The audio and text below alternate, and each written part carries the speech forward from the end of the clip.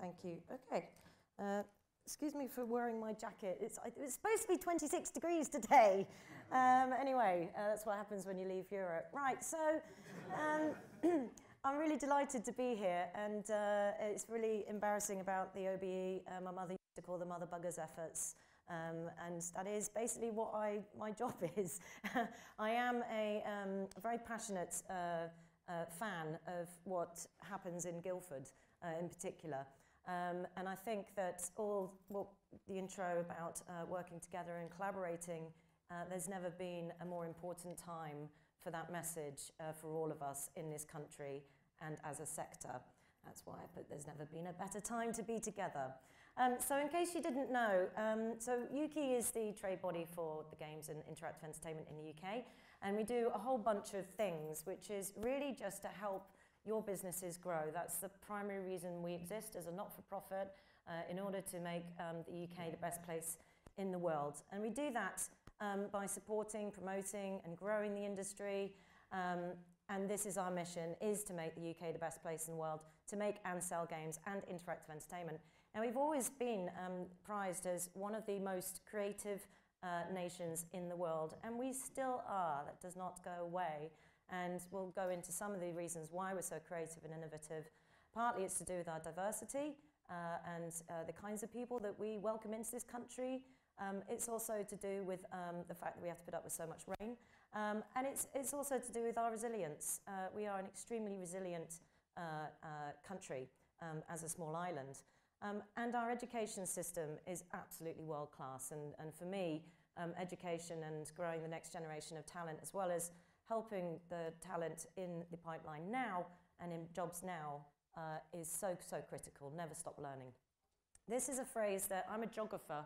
I was just having a conversation about uh, my undergrad thesis was about online communities uh, and internet cafes and things like that. And uh, so I was a cultural geographer.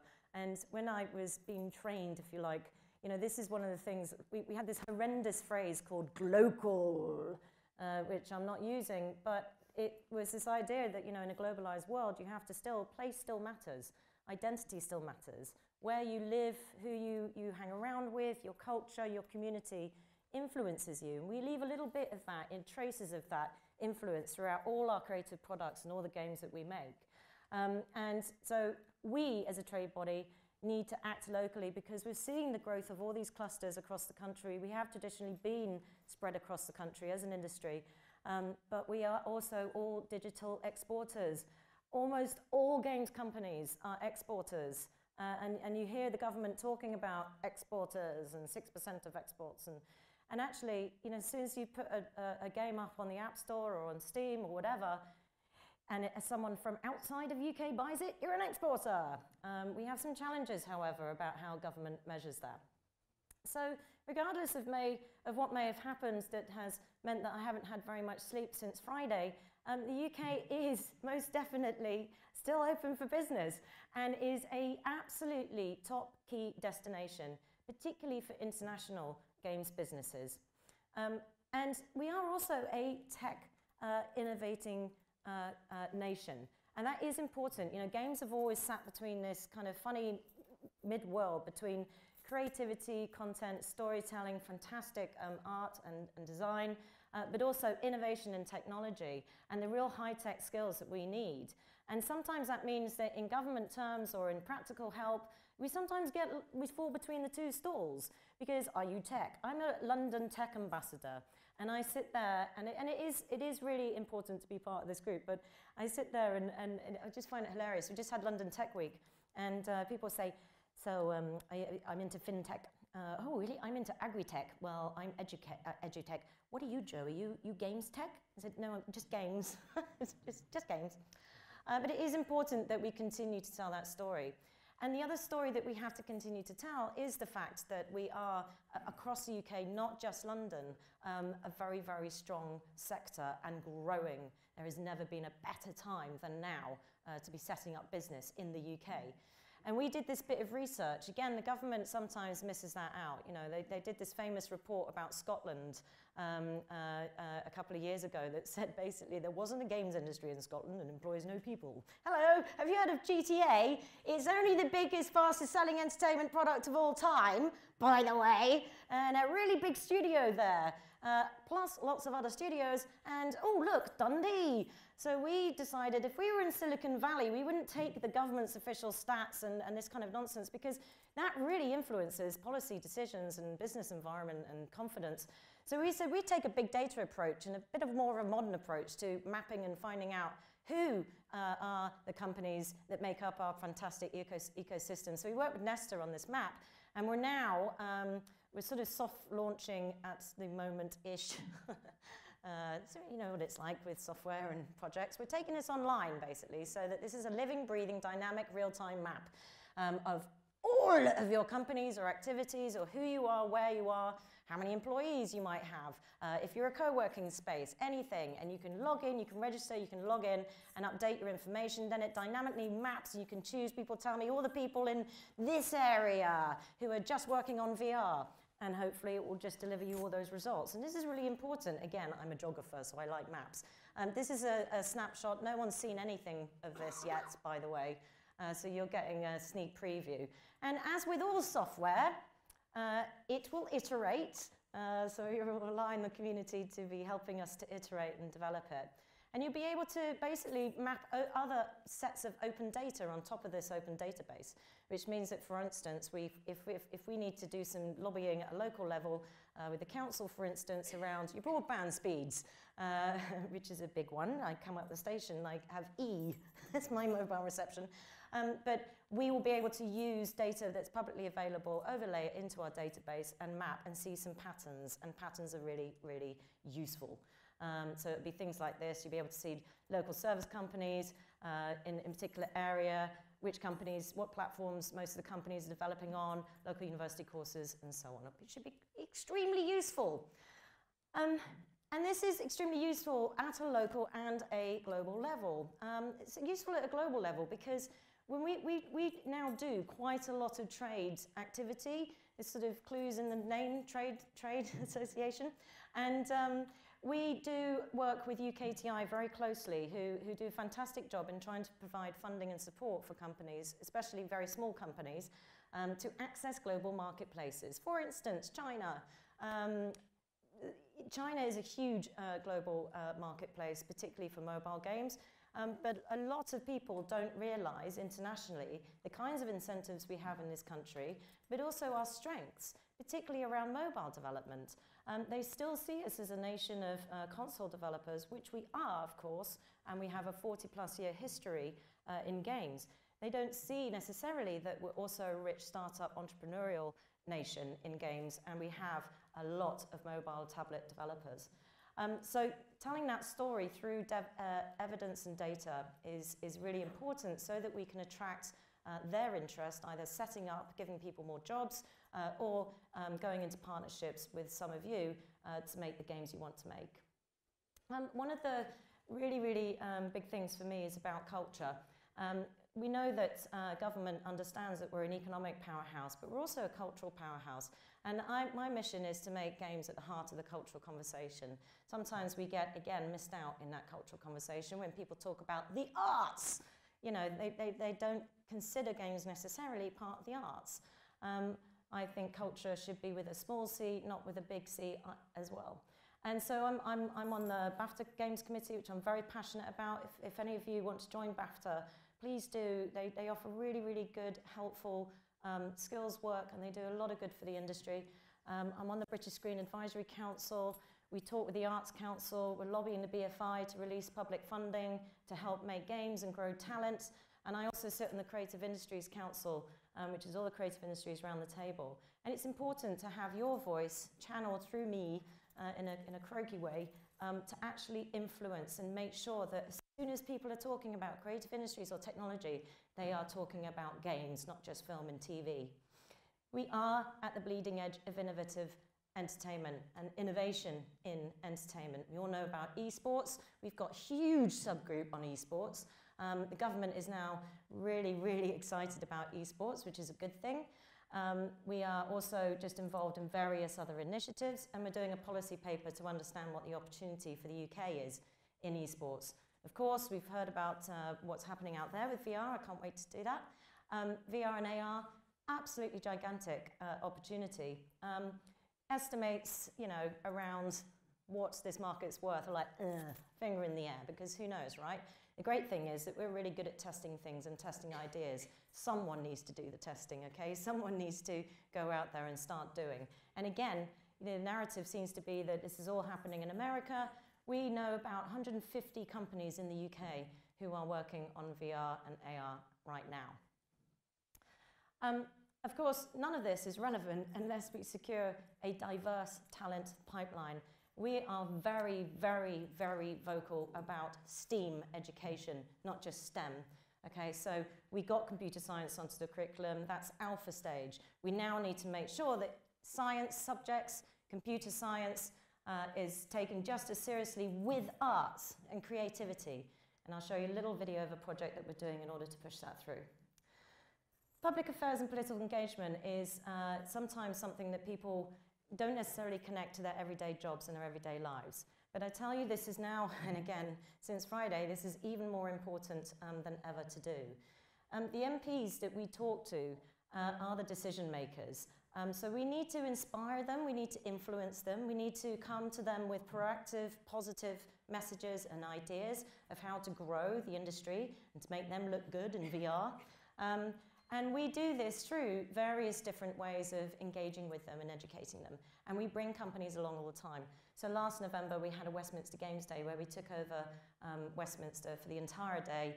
Uh, we had some critical seminars on some really, really big issues uh, that are still at a European level, um, which we have questions around now that we're out of Europe. Uh, and we had an innovation showcase um, of 14 different companies, including Guildford companies. Um, that's Tom Watson playing Guitar Hero. It's one of my favorite pictures.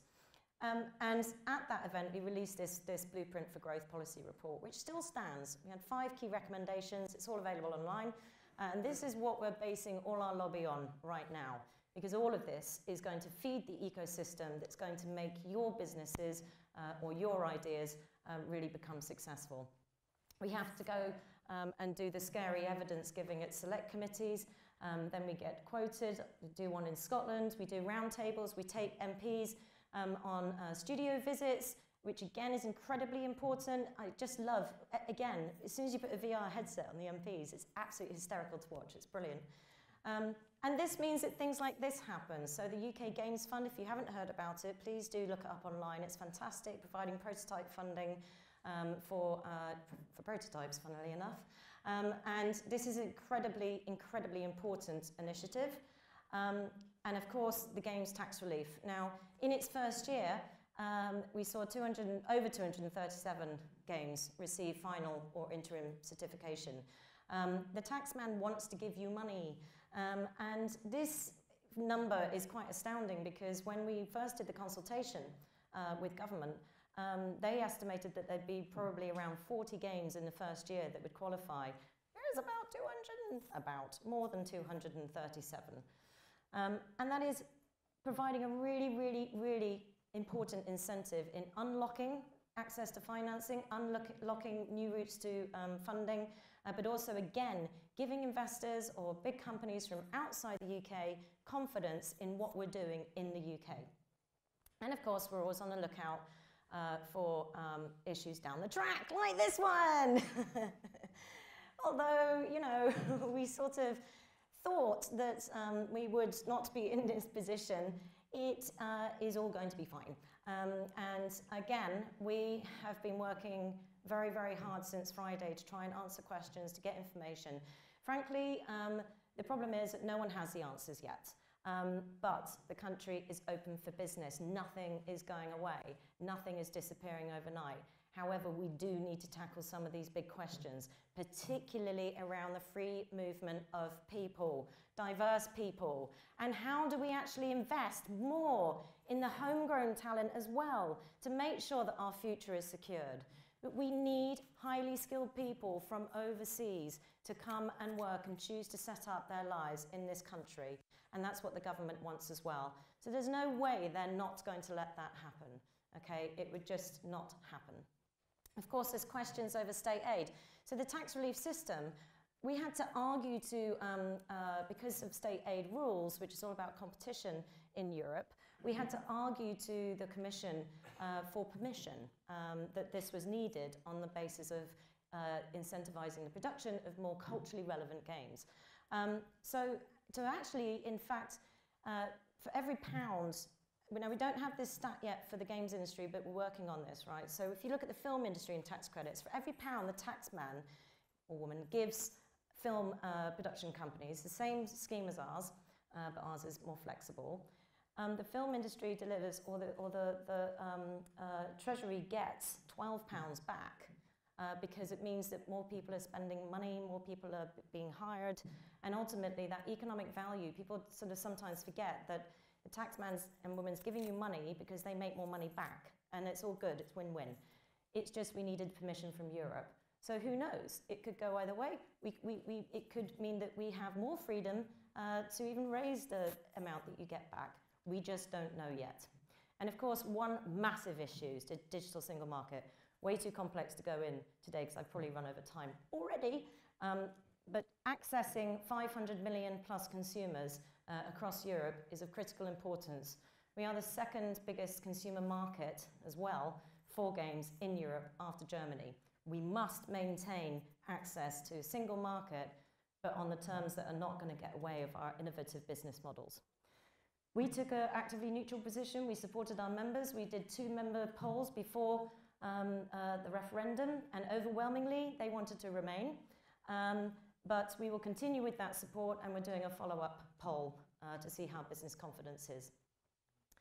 Uh, despite all of that, so, you know, we have a new mayor of London. Um, of course, we are only half an hour from London, and uh, we spent two years bidding for support. We wanted the mayor of London to do for London uh, what he did, for do for games, what he did for fashion, okay? So London Fashion Week became a huge global event, which is very important for the fashion industry. Likewise, uh, we wanted this investment from the mayor, and we did this in partnership with Film London, who are used to doing this, um, to put on a three-year plan uh, including a rebirthed London Games Festival to disrupt the perception of games publicly uh, and internationally. And uh, we had 38,000 people attending 30 plus events from the, uh, during April.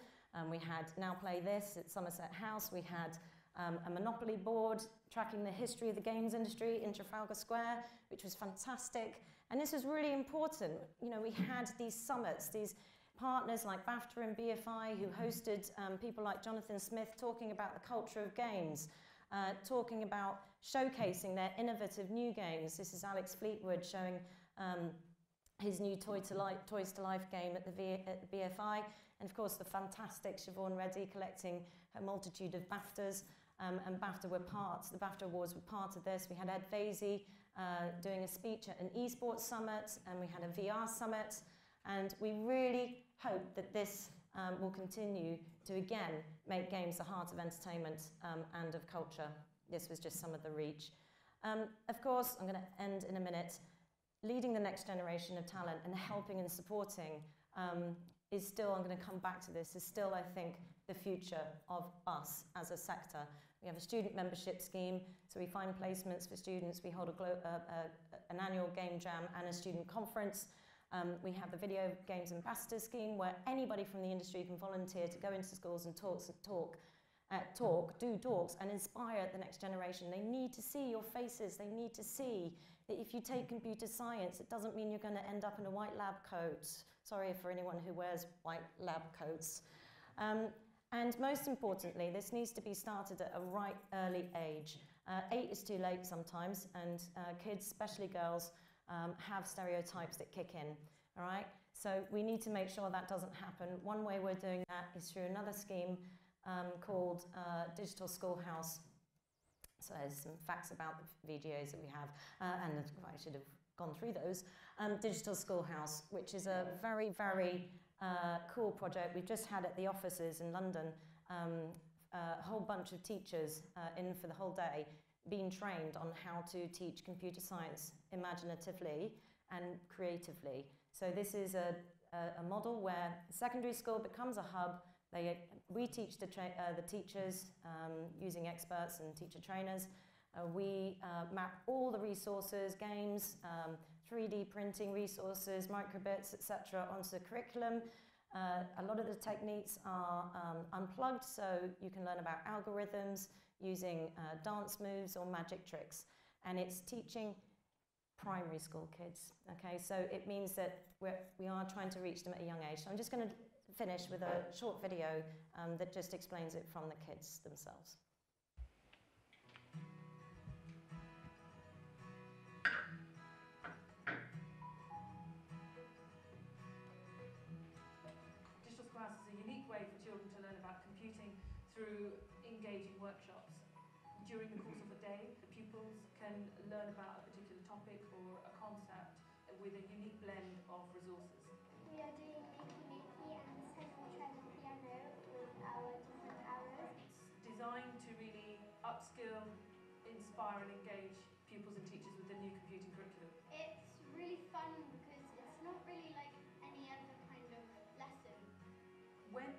We young children, we learn through play and exploration.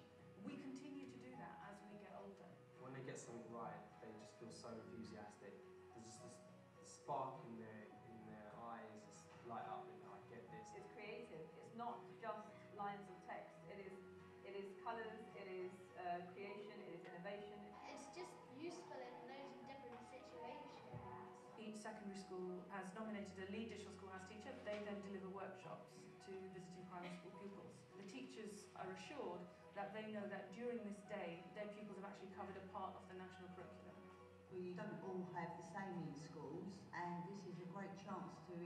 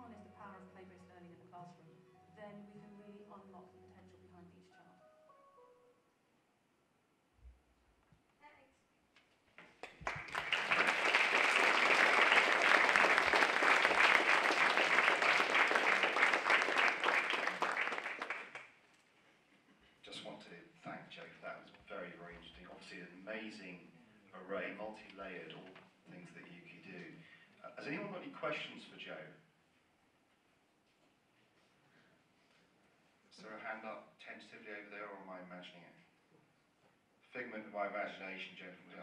There is, there's one there. We have a roving mic, I understand. Or do we? And we have another mic. One second.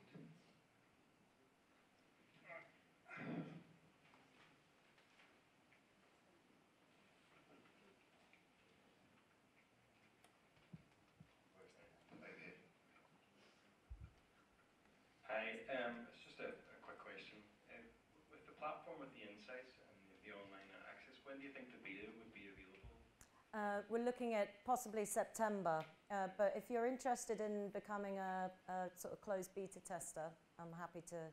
Yeah, that would Yeah. be great. Yeah. Um, We actually are on the, the board of Games NI, and Mm. it's just about getting some of those companies up on that system as Definitely. well, so they're visible to everybody. It, it, it's only going to succeed and be useful if people actually, you know, if people use it and make sure that they're engaging with it. That's great. That's brilliant. That's lovely. Over here. Well, just follow on from this question. Sorry, just to follow on from this question, uh, does this also cover startups? Like, how, where the, That's- where's the data yeah. coming from? So, uh, I won't go into the methodology too much, but it's a combination of um, web scraping, it's a combination of combining a lot of the databases that we have, uh, publicly, publicly available information, not any confidential information. The main reason for doing this was that official stats, government stats, didn't capture startups. And we said, but there's a whole bunch of, there's gazillions. Uh, and, and our map actually shows there's now over 2,000 games and interactive entertainment businesses in the UK, and the majority of them are startups. So this captures startups as long as you're incorporated as a business, as long as you're a business, one person band, doesn't matter. As long as you're registered on something like Companies House. Yeah, exactly. In the right SIC code. Everybody check your standard industrial classification code, otherwise you don't get counted. This is another reason why we did this. It's really boring but important. I think Sega, until we told them, were, were listed under um, leisure activities. okay. Any final, one more question, one more question. Oh, sorry, apologies.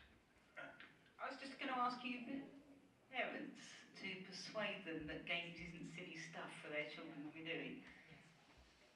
Yeah, we, we fund uh, and run a, a, site called Ask About Games. I also sit on the Council for Internet Child Safety. I can never remember the order of the words in which that goes, um, which is really important because it stops stupid shit happening like uh, network level filters that, that put games alongside pornography because they think games are pornography, you know. So we stop that kind of stuff happening. But we educate, we try and educate parents through Ask About Games. Becomes a forum, a place where parents and carers can come and ask questions. We do um, the information about parental controls, about the PEGI age ratings, uh, and we do editorial features about games you like, Lego Dimensions, or offer advice of how, what games you can play as a family uh, and what games your kids should be playing, and how to take that creativity offline as well. But it's a constant job, and it's a shared responsibility as well. So the careers, we're, we're, we're starting, we're rebooting the site and we want to do some careers advice. Careers advice uh, is also being done by Creative Skill Set uh, in schools and we hope to use the Digital Schoolhouse project, which we're now rolling out of London, because it was a London pilot. Um, we're rolling that nationwide now. Um, and hopefully we can, we can use that as a vehicle to do some careers advice. The problem that we have is that we make up our job titles all the time. And skill sets like data scientist didn't really exist, you know, or at least as a job. So it is, it is hard. If you think about how kids go and find out about jobs, you know, they need sources, they need places to go. They need to be able to Google, you know, and teachers and parents need to know the career pathways so that if you say, you know, little Jenny wants to take art and physics, you know, she's not going to be put off taking art and physics together um, because, oh, the only thing you can be is an architect. So it's really important that we all kind of, that's why the Video Games Ambassador Scheme is incredibly uh, crucial. Nine times out of ten, when I do a school tour, and I do an awful lot of them, and they're, they're the most nerve wracking things to do, by the way. Um, I headbutted a teacher once and then swore uh, in front of the. and then swore again because I'd sworn. Um, but the, the most important thing is to, to, to make sure we're constantly filtering through that information. But nine times out of ten, I get about five kids coming up to me saying, I had no idea my hobby could become a job. It's like, yes! And they all think, you know, the Lego games or Grand Theft Auto, they shouldn't be playing Grand Theft Auto anyway if they're not 18, but they all think that the games are made in, in the US and Japan. It's like, no, it's just made up the road from you.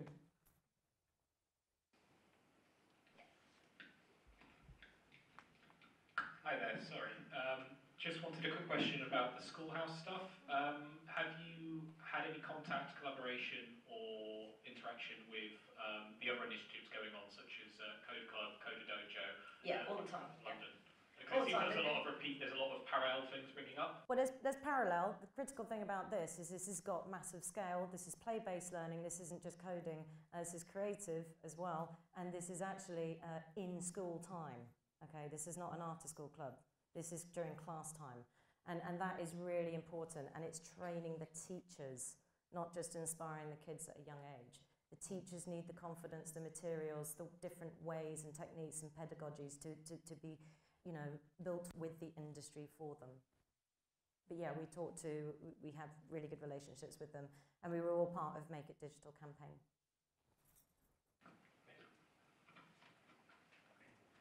Okay, thank you very much again, Jo. Fantastic talk.